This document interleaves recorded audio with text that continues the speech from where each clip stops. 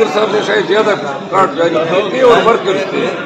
दो साल के जुल्म जबर के बाद पी टी आई की हुकूमत बनने जा रही थी तो लोगों ने अगर थोड़ी बहुत जो है ज़रा एग्रेशन की है तो मेरे ख्याल में दरगुजर वाम ने मैंडेट दिया है।